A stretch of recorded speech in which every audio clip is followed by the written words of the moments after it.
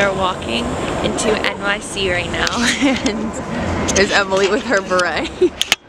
bread. I'm um, beret. No one heard that. and we are going to Harrison because we're getting on the train to go into NYC and then we are going to see the Rockettes and eat at Black Tap so I'm gonna try to record the whole thing but yeah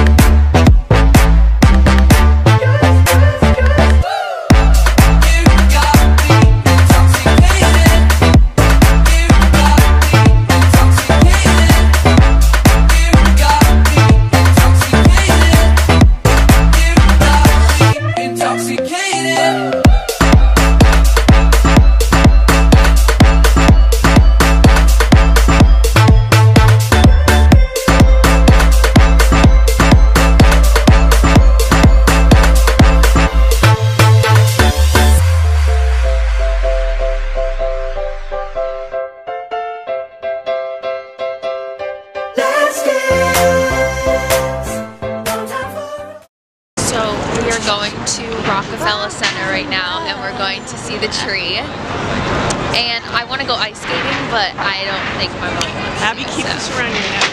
Okay. What'd she say? She said keep it around your neck.